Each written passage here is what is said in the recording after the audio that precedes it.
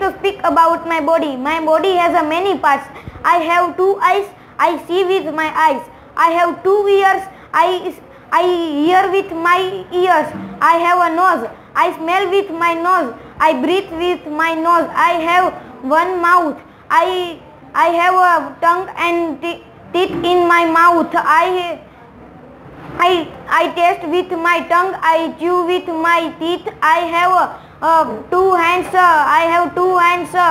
I work with my two hands. I, I have two legs. I run and run and walk uh, with my legs.